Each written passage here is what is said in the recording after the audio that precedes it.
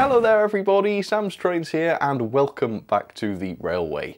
Today is a massive day for me because my double O gauge Gladstone locomotive is finally complete and in this video I'm going to reveal it and also review it for you.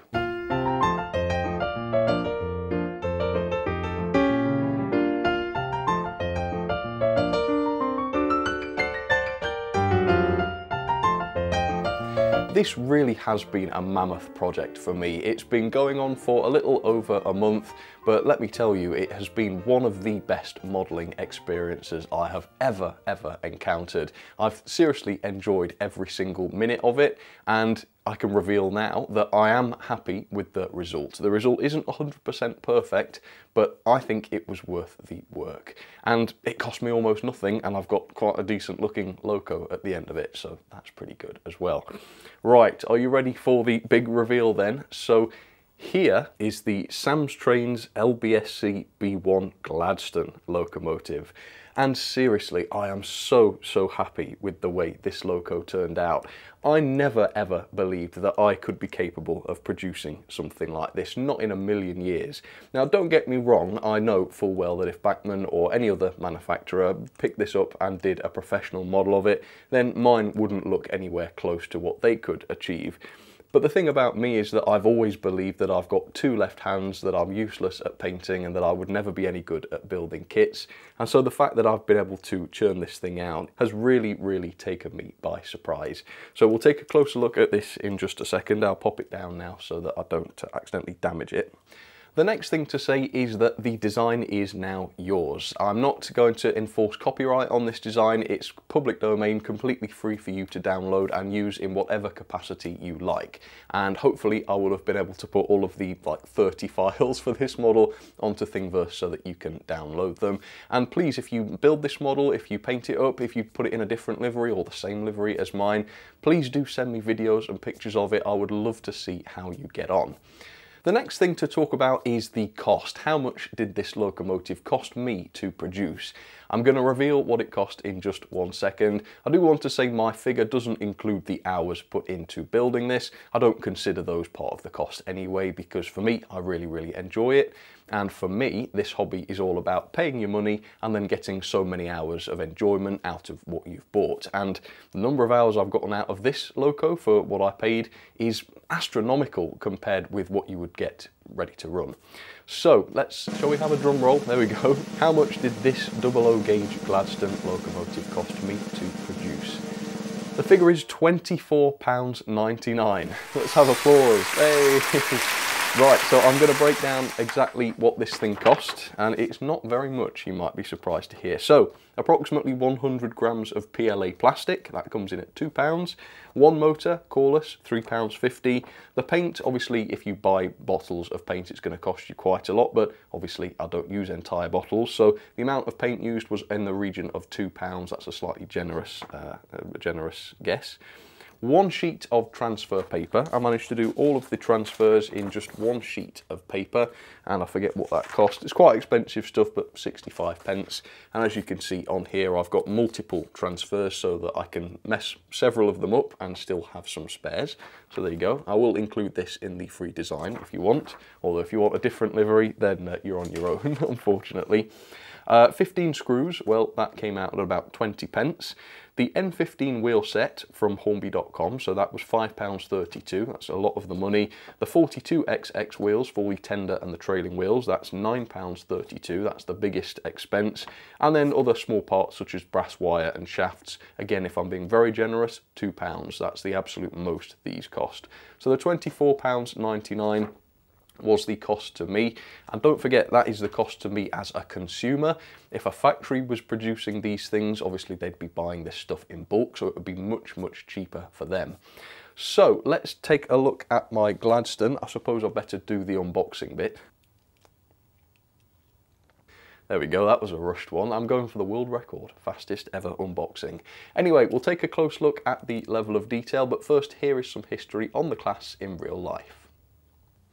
The LBSC B1 was a class of 36 042 locomotives introduced in 1882 for express passenger work. Designed by William Stroudley, this would actually be his final express passenger design, and arguably his finest. I mean, look at this thing, they're beautiful. They were based on his previous Richmond class from four years earlier, except the Gladstones were larger, although to be fair, I can't really tell much difference. There were concerns over using the unusual 042 wheel configuration due to issues of stability. People said it would derail. But with such little weight over those trailing wheels, the design actually performed without any problems. One did famously derail once, but this was due to a bridge collapse. Withdrawal of every member of the class was sadly completed by 1933, meaning that no example survived into the BR era, at least not in service because of course one example has been preserved and that is this one. It's Gladstone and it's part of the National Collection. So there she is, my LBSC Gladstone up close and personal for you. And I think this is probably the first model I've ever built that I've actually liked and enjoyed as a model in its own right, and not just because I've enjoyed the process of building it. That said, I am going to try and review this thing objectively as I would a professionally manufactured model because that really helps me learn how to improve and it also allows you guys to have a good look at the model up close. So first of all, as always, I will talk about the weight. So the total weight of the model is 150 grams. Now that is not an awful lot, unfortunately. The Loco itself weighs in at around 100 with all the paint and decoration, and the tender comes in at basically 50. So by professional standards, that is not a very heavy loco, unfortunately. However, given the fact that this is entirely 3D printed in plastic with no die-cast components, I don't think it's too bad. I'm pretty happy that it wasn't less than 150 grams, but obviously this thing is going to struggle with the larger loads. On the subject of being critical, the elephant in the room for me at least is the colour matching because the colour on the boiler obviously doesn't match the colour of the splashes on the side of the cab and the tender to an extent. This is the one thing that I'm really not happy about with this model, but as the manufacturer of this model I can explain to you how this happened. So the paintwork on the wheels, as you can see, we'll use this opportunity to show you that, which is I think quite neat and tidy considering, and also the paintwork on the boiler of the locomotive. That is all painted, that is directly painted onto the locomotive. The side of the cab though, and the splashes, if you look up close, you can tell that these are actually printed parts. So these are laser printed transfers and I decided that the yellow on these components would be a part of the print. And the reasons for this are really, really complicated, and the way that these are applied is really complicated because typical printers do not print in white ink or white toner, which means that if I was to apply, let's say, this Gladstone transfer onto the green splasher, then the colour of the Gladstone text and also the yellow on top of it would not have any white in it, and in fact the green behind would taint it. So what you're actually seeing here is several different layers of decoration. The first layer on the splasher itself is white, and then I applied a mask to the front of the splasher to keep the white there, and then sprayed green around it. So you've actually got a sort of white splasher shape on the front of the splasher onto which the transfer is placed. And I think this technique actually works amazingly well except I didn't manage to match the colour properly on the transfers that I printed. I did the tests, I scanned the results and I tried to match it as best I could. Uh, unfortunately, it's just not that close and the result is a little bit disappointing. But the transfers on the whole, I think, were a real success. I mean, the lining on the boiler, as you can see, has come out wonderfully. I mean, some manufacturers, I think I can objectively say this at last, do not have such quality lining as this. So that I'm really, really pleased with. It was a very scary process putting that on there, but it was able to work. Then as you can see, we've got the little builder's plate on the front splashers, which are all fully lined, and you've also got the running number on the side of the cab, which is painted. The buffer beams are also painted as you can see with the lining and they do have separately fitted buffers. They're not sprung unfortunately. like I said earlier on in another video, I don't quite have the technology to do that but one day I might look into it.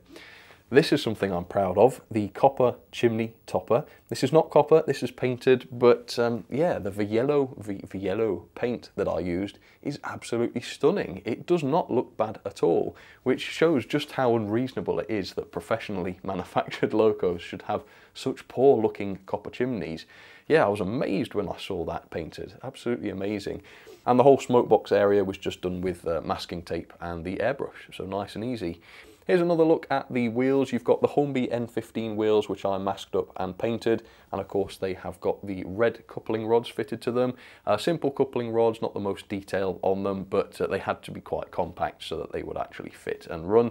And then every other wheel on the Loco is 3D printed with a Hornby 42XX metal tyre uh, so that they look right and also pick up power. Let's take a look at some of the details then. So on the smokebox door, we have a separately fitted smokebox dart, not a particularly fine one, unfortunately, but it, it is at least separately fitted.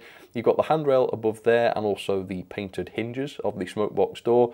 You've got the little oiling points, thank you to the people who commented on what that was for, little oiling points on the front of the smokebox.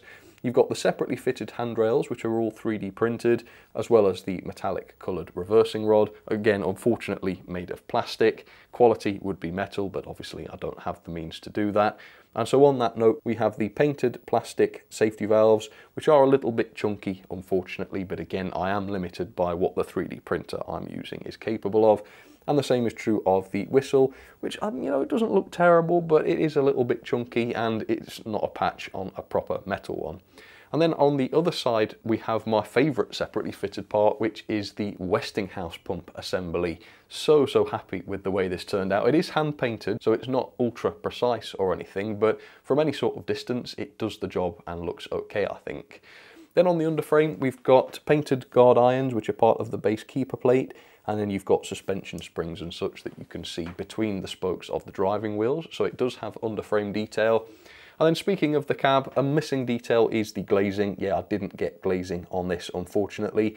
I could put some sheets of transparent plastic on the inside of the cab, but uh, they wouldn't be flush or anything. I suppose that is something I could do. And then the side of the cab, we have the moulded in inverted commas, moulded handrails, but they were actually to support the upper portion of the cab. Now we've got the separately painted, separately fitted roof on top of the cab, and then the piece de la resistance, we have the cab detail itself, multiple different colours used, several separately fitted parts, including the reverser, there and also the regulator and I've even tried to pick out some of the paintwork on the gauges and such. Doesn't look great up close but if I pull back a little bit you can see it does look a lot better. I've managed to get a degree of close coupling between the Loco and the tender. As you can see, this allows it to handle second radius no problem. First radius, I think that would be an issue. As you can see, the running plate of the Loco does not match the height of the running plate of the tender, and that's because I actually raised the running plate of the Loco a tiny bit just to increase the clearances, I didn't factor that into the design of the tender, so that is a criticism. But I could do an apple and say, the tender, folks, is just full of water. It's full of water and it's full of coal and the suspension springs, they've just let the, the tender body go down a little bit. That's all it is. It's actually a fully intentional part of the design. So this side of the tender didn't go so well in terms of the transfers. These were the first ones I did after the practice ones on the bodies I produced before that. To see the best work on the tender, you want to look at the other side, and as you can see, the transfers are a lot better. These are not 100% realistic. I think there needs to be less green and more yellow, so these sort of boxes need to be larger in order to be realistic. But again, that is a relatively minor thing to me. But if you want to build this kit yourself, then that's something you could fix if you wanted it to be fully realistic.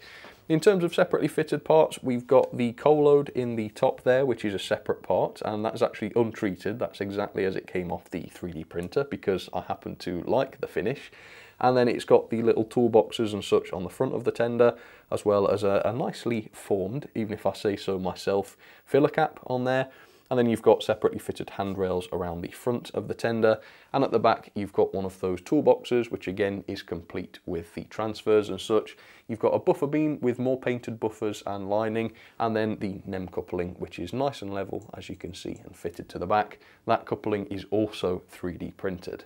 In terms of the finish, this Loco has a few coats of gloss varnish on it, which has made a really nice satin finish. I'm so happy with the finish on the boiler there. And, you know, if you look at the splashes, for instance, if you look at the running plate, even the tender, it's got a real shine to it, which is something you notice when you look at, well, at least photos of the real thing. So again, I'm really proud to have been able to replicate that. So there we go, that was a close look at my Gladstone. I think these close-up shots, as always with 3D printed stuff, are the cruelest, But I set out to improve on the Manning Wardle that I produced last time, and I think I definitely have. I think I've managed to edge this ever so slightly closer to professional standards. I'm not suggesting I'm there at the moment, and I'm not suggesting I'll ever be there, but I never thought I would be this close and certainly there are sort of no horrible nicks and marks in the bodywork this time. I managed to fill all of the under extrusions in to give a much smoother result. So there are definite improvements and I really really enjoyed putting in that extra effort in order to achieve that. So now we're going to talk about the mechanism and the performance and so for that I'm going to take this down onto the track. So there she is, the Samstrains Gladstone down onto the track, ready for some performance testing. Uh, it's such a beautiful class, isn't it? I'm just so relieved that I've been able to make a model that I like and enjoy because, like I say, I've always, always wanted a Gladstone.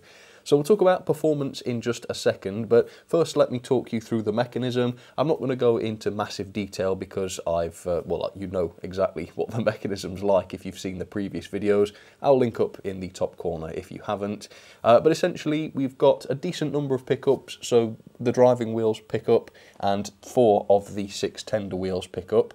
Uh, I now have brass wire pickups on all of the wheels rather than copper strips because they reduce the drag and that's the reason why I don't have all of the tender wheels picking up uh, because obviously we're very limited on haulage capacity with this loco and every wheel that has a pickup on it produces more drag so I'm trying to include enough pickup so that it works reliably but not go over the top and damage the pulling power.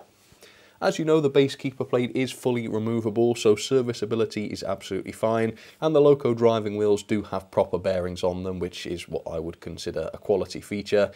Unfortunately, the motor inside here is just a small coreless motor. It's unfortunate. I do like some coreless motors. These are not necessarily the highest quality, but they are small, and that was really important for this build because the body on this Loco is incredibly slim, and I needed one that would fit in this tiny area here, as well as the gear train. It's also a cheap motor, like I say, £3.50, so it doesn't set you back very much. Again, no flywheel, unfortunately. Now, technically, there would have been space for a flywheel in sort of this area of the body, but that would have involved cutting the bottom of the boiler in order to get the chassis to fit into the body, and I didn't really want to do that. Ideally, a flywheel would have been great, but it was just a complication that I didn't want to enter into. And also, it would almost certainly have made the loco lighter because this part of the boiler is full of sort of wheel balancing weights, and I'm not going to get a 10 gram flywheel in that space with all of the clearances as well. So yeah, it's a pity about that, but it is what it is. The other thing about this is that the rear wheels, the trailing wheels on the Loco, have zero weight on them. They are literally just there to look like they are part of the Loco. They don't actually serve any purpose. And there's no spring on them either. Now the Loco actually works fine. It runs around my layout, which is a worst case scenario, without derailing. But that rear trailing wheel is not a particularly stable one. In reverse, you do sort of see it almost coming off the track. It doesn't, but it's not ultra stable. I think if you were to reverse it over points, then it probably would derail. Obviously, the solution there would be to put a small spring onto that axle to push it down onto the track. But again, I haven't done that because of weight. If this was a die-cast Loco, it wouldn't be a problem. But any weight at all going down onto that rear trailing wheel is weight that is taken off the driving wheels. So I have decided against doing that. Now then, let's talk a little bit about performance. So the good news is the Loco works and I will show it running in just a second. The bad news is it's not performing quite as well as I expected or perhaps hoped it to. During the initial tests when I first put this chassis together, I managed to get it to crawl really, really nicely. It was a superb runner. But unfortunately now that the pickups are on and the extra weight of the body's there and the drag from the tender is added into the mix, it doesn't crawl very well anymore. And I, I, reckon I could improve it if I sort of fettled it a little bit more and sort of troubleshooted it. But the fact is I'm terrified of damaging the paintwork on this Loco. It's super fragile, more fragile than a professionally manufactured model. And every time I take the body off and disassemble the thing, I run the risk of damaging the paintwork. So I've decided to cut my losses. I think there is a way to make this run better. I've seen this mechanism, this chassis run better than it does, but it isn't too bad. So let me show you the performance. So the good news is it works, as you can see. and uh, it is reasonably paced. So if I hit this with 50% speed, you can see that the gearing that I spent so much time developing uh, paid off. It's, it's pretty nice and smooth and steady. And at these speeds, it's fine. It does have a bit of a funny noise to it. The, uh, the same was true of my Manning Wardle. I'm not sure what the noise is. Maybe there's a bit too much clearance around the, uh, the gears in there and they're able to rattle around a little bit. Yeah, I don't know what that is. I, I suppose I could find a way to dampen a little bit. I don't know. But yeah, as you can see, the uh, the motion is fairly smooth. It does seem to struggle a little bit though. Hang on, let's get it into shot again. There you go. So, I mean, it's okay. It, it does wheel slip though, doesn't it? It does look like it's wheel slipping, which is weird. I think it is just the drag from the tender wheels. I mean, again, I could adjust the pickups so that, that they apply uh, less pressure onto the wheels, but again, it's just, I don't like fiddling with this thing. I think it works. I should just, I shouldn't gamble and try and be greedy and get even more performance out of it. It works and it looks okay, so I think we'll leave it there. Let's have another go at that uh, crawl. Yeah, I don't know why it, it, wheel slips like that at the slow speed. That is a bit concerning, isn't it? Um, but you can hook it up to coaches and it will haul them no problem. So yeah, it's just a strange one. I guess it has to just overcome that uh, that friction at the low speeds. Anyway, see if I can crawl. So I mean that's that's about the limit of the crawl. It's not amazing or anything. It's fairly smooth, I suppose. Oop. But it's not very slow, unfortunately. But at the higher speeds, it does it does become much smoother, which is good. As you can see, that's nice and smooth, isn't it? And technically, I haven't run this in. This has only done about 10 minutes running so far, so maybe it will uh, it will get better with some running in. And I thought I would save the running in process until uh, until this video. So let's get it going. Let's hit it with 50% speed, which isn't too fast. Now let's see how it runs. So I think the speed is very sensible, as you can see. So the gearing did its job. And it's also nice and reliable. It wasn't cutting out all the time it doesn't cut out on points, it doesn't hesitate on curves or anything. And uh, actually from a torque perspective, it's pretty good there as well. It doesn't hesitate and slow down around the second radius, as you can see. So it's not a great performer. I wish I had the technology to put some die-cast on there because if that running plate was made of metal and if the chassis was made of metal, it would be such a great hauler, I reckon. It would, it, all of that wheel slipping would go away straight away, I reckon and uh, yeah, it would be a much better quality model, I suppose. But I have to keep reminding myself not to beat myself up about it. It was a very cheap model. It's built from scratch. It cost £24.99 to make. It would be quite unreasonable to expect much more of this thing. And like I say, I'm, I'm more than happy to cut my losses with this and say that I'm happy with it, despite one or two flaws. So I'm going to let this run in for a little while. Uh, I'm not, I don't have time to do the full 30 minutes in each direction, but I should be able to manage 15. And then we'll come back and I will hook it up with some period coaches and we'll see what it looks like with a load. That I am looking forward to. Okay, see you shortly. Okay folks, I am back. And up until now, I've been quite hard on myself about this loco. And don't get me wrong, that is well and good because this is not at the same standard as a ready-to-run manufacturer's locos, and to pretend otherwise would be incredibly big-headed and disingenuous. But I am going to allow myself, and please forgive me for this, I don't want to appear a big head, but I am going to allow myself to pat myself on the back very slightly for the mechanism because this is the first time that I've actually just sit and watched it run for an extended period and I have to say, I've been really, really impressed with the way that it's run. The speed is really sensible, it's incredibly smooth. I didn't have high hopes for the performance of this loco in reverse, but if I show you this clip, you can see it's actually running perfectly in reverse without derailing, which again is a small miracle given the instability of this rear trailing wheel, but even the small tight curves around Gordon's Hill, absolutely fine. Running at really low speed, this was 30% on the controller. You can see no slowing down or stuttering on those second radius curves. I mean, we've seen much more expensive locos perform far more horribly than that on the second radius there. So honestly, I'm so pleased with the way this performs. The only letdown is the crawl. I wish it was a better crawler and I, I don't really know why it isn't. But I mean, it's not it's not terrible, is it? It could be worse. But it's not great at the slow speed. But there is something else to shout about here, and that is the pulling power.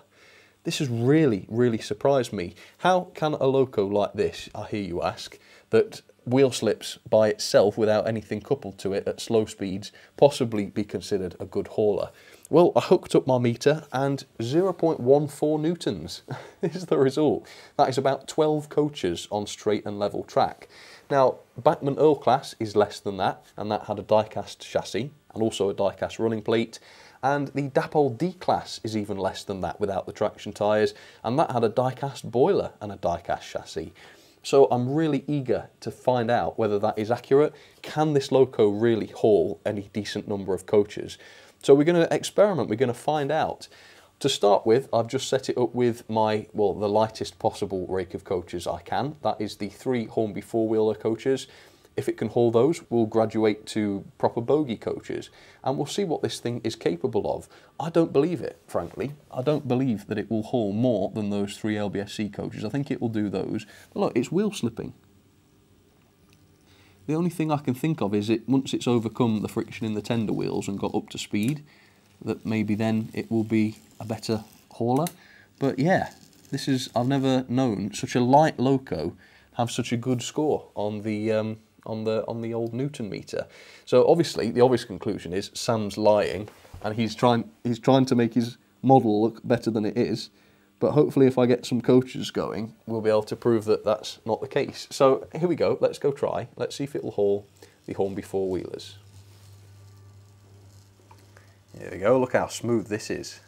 So one of my big criticisms of other manufacturers is the ineptitude of their couplings. Dapol, Heljan, they have been victims of my criticism there in the past. So let's see if I've been able to do any better. Yep, an instant coupling, that's awesome. And, even better, it is hauling these coaches. Now, I have to be honest with you, if I don't sound too surprised, that's because I have tried it with these already. so I do know that it can haul these, but obviously it looks lovely with them, so I will run them for you. But I haven't ever tried anything more than these three LBSC coaches. So beyond that, if I'm surprised, the uh, yeah the surprise is real. Okay, let's go for about almost 50. Okay. Any slowdowns? Oh no. I mean, the loco might wheel slip, but it's not going to uh, slow down. Those wheels just keep on pounding. Oh, look at this, folks. It's just so satisfying. So I think at this point I can consider it fit for purpose, but what about those claims of pulling power? Got to investigate that. Right, so the tiny little pre-grouping coaches have now turned into massive Southern Railway bogie coaches. I don't, I, feeling how light the Loco is, I don't think it will do this. I think it will do it on the straight track here, on the level. But up Gordon's Hill, ah, I think it's going to struggle. Surely it's going to struggle. It's probably not going to do it at all. Anyway, let's find out. 50%. It's moving them. Here we go. Come on, Gladstone. You can do it. Or maybe you can't. Oh, that's really struggling. Saw it wheel slipping and obviously it did slow down, but oh, it's just about, oh, it's just about managed to do it. My God. So that's not bad. We've got to add a, we've got to see it stop. Let's add a couple more. Right, well we're pretty far back, but I've now got five large bogie coaches coupled up to the Gladstone. Now, according to my meter, I mean, it should be able to handle this on straight and level track. So let's find out whether that's true. Yeah, without too much of a problem. Let's go back again. Yeah, not a problem at all. Look at that. It's probably not, uh, it's probably feeling the burn, don't get me wrong, but let's see if it'll do it at 30. There we go, that's 30, because it does struggle more at the slow speeds. But as you can see, yes, that's fine. So, you know, if you've got a, a level layout, you could make one of these and it's going to haul prototypical loads, right? Inclines, I think we're going to have a problem this time, folks. I don't think it will do this. I don't think it will get even halfway up. But we'll have to try. Let's see. All right, here we go at 50% speed. Maybe it needed more of a run up than that, I don't know. Oh, come on, it really wants this. You can tell. Oh, I tell you what, it's going further than I thought. But I think it's going to stop. Oh. You know what though, with a run up? Oh, it's, you know what? It's not stopping. It keeps looking like it's going to stop. Oh my god, it's done it. It has done it. You beauty. Oh, it's still fighting. It's still fighting. It's still fighting.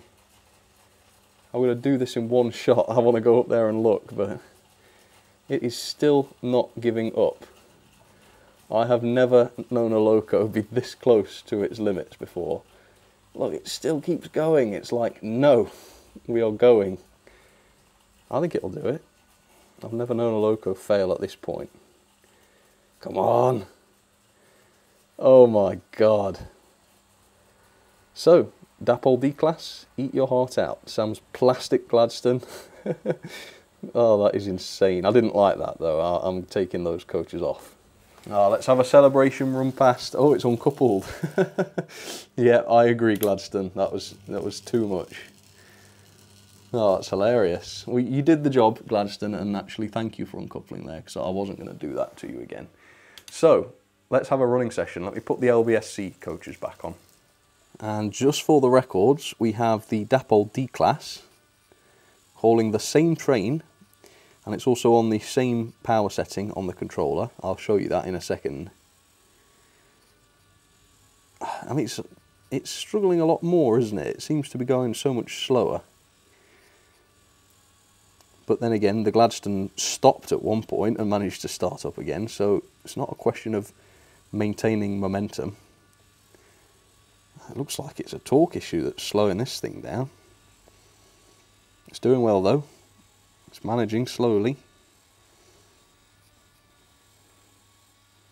Come on, you got to beat the Gladstone D-Class. You were £200. Don't know, you know. I don't know. It's not going to do it. It's it's doing what the Gladstone did. It's still pushing. Oh, oh, oh. Come on. I, I, sh I, should want my Gladstone to beat this, but I want to see this do the same thing. Come on. Come on. Take it. You're so close. So there's not much in it. Not much in it really, is there?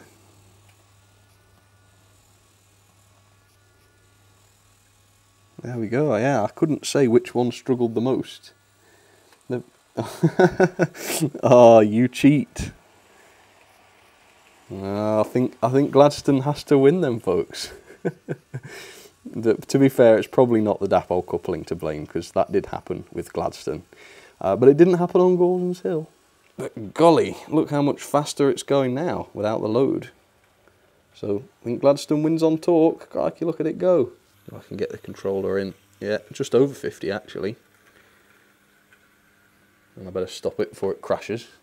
Yeah, so it's definitely a question of torque there, isn't it? I mean, the D-Class weighs a lot more than this does, so if it had this mechanism inside it, then the D-Class would be the more powerful loco, but I mean, this thing, the wheels don't slow down under load, it just keeps on going. The D-Class slowed down to a crawl. So I think I've got the edge there over some of the pro manufacturers on mechanism. I might not have beaten them on the crawl, that is true, but in terms of raw performance, in terms of, you know, mainline speeds, I think I got them. Yeah, it's, it's as good as I could hope. So there we go. Let's send Gladstone off. And then on, well, I'm going to have a bit of a Sam's Train session today. Everything you're going to see running today is a Sam Trains locomotive. So this is the Manning Wardle. Yeah, I think I've smashed it, really, haven't I? I think I have managed to raise the standards from this. I was pleased with myself when I did this. Now it looks like a load of rubbish compared to Gladstone. So things are going in the right direction and I'm, I'm pleased about that. So off it goes. And here is the next loco back in this progression. and it's crazy because I, I did this in the autumn. This was literally done within the last year, much less than the last year. When was it? Was it September or something like that? Yeah, I mean, this is hideous compared to the Gladstone. Gladstone's coming in just a second. So yeah, I mean, I haven't been messing around. I feel like I've learnt a lot in this past uh, in this past year. I mean, a year ago, I hadn't designed anything. I hadn't 3D printed anything. So yeah, it seems seems to be going well. I just this thing is almost unworthy of being run. But but I got the mechanism even better on this first one. Look at that for a crawl. But it's because it's got a big five-pole motor in it, not just a, a weeny little coreless one. Uh, but look at the size of the body. I had to make it a big fat thing to fit it in there. So wouldn't work for uh, serious models, unfortunately. So there you have it. That is such a satisfying process. And uh, of course, this design is yours if you want it. Now, if you haven't done anything like this before and you want to try it, uh, don't be daunted by the improved engine green livery. Um, to be honest, I was a madman to attempt it, and I don't really have the skills to pull it off properly, as you can see when we look at it up close.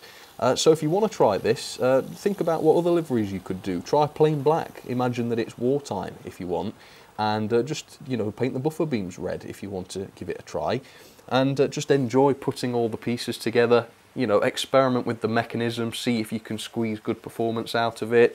And you know the separately fitted parts it's easy to paint those because you can paint them separately away from the body and then fit them on. So you could always have the sort of uh, aluminium coloured handrails and that sort of thing and the reverser rod. So even if you painted all of the bodywork black or a nice blue or anything you like it doesn't have to be realistic who cares about that uh, just enjoy it. Just get used to 3D printing stuff, get used to assembling models, and just try it. If you don't like using paintbrushes, figure that out and get a, an airbrush and see if that works better. Just uh, learn to produce models yourself, save a lot of money, and if you're like me, you will really, really enjoy yourself doing it. I seriously have had one of the best months of my life, which I realise is a very, very sad thing to admit, but it really has been just such a wonderful time producing this loco, and I'm absolutely gutted that it's done and that I, I won't be, you know, coming up for an hour a day and just tinkering with it and adding a bit more. Yeah, I'm going to miss it. But I, I have a decent looking loco at the end of the day, which I'm so proud of. So, so happy with that. Oh, it's lovely. I'm so glad that I have a Gladstone at last. Well, this ought to be interesting, didn't it? Let's now try some ratings for this locomotive. Now, I've tried to be as objective as possible, but the fact of the matter is I am emotionally invested in this model, but I have tried to be honest here. If you disagree and you think I should have been harsher, by all means comment down below and let me know. The level of detail I've given a 3. I think this is probably deserved. I gave the Manning Wardle a 2.5 and I think this is more detailed than that, if nothing else but for the decoration. Uh, I think I would give this a 4 if the decoration was better. If all of the yellows matched, I might have been tempted to give this a 4 but you know it doesn't have sprung buffers or any lighting on it and some of the detailing is just you know plastic rather than metal.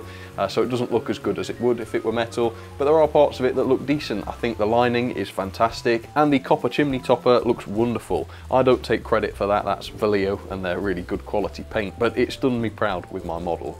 Performance then, surprisingly good. I'm amazed at the performance of this. The crawl is not very good, which is a shame because that has dragged the performance mark down, but great torque around the track, no slowing down on tight curves, even though it's not very balanced on that uh, sort of rubbish trailing wheel, doesn't cause it to derail forwards or backwards, at least not on points, and it's really, really, really smooth really good performer. I'm thoroughly, thoroughly pleased with the performance of this and it just goes to show what good gearing can do. So that is wonderful. The pulling power too is much better than expected. 12 coaches or 0.14 newtons.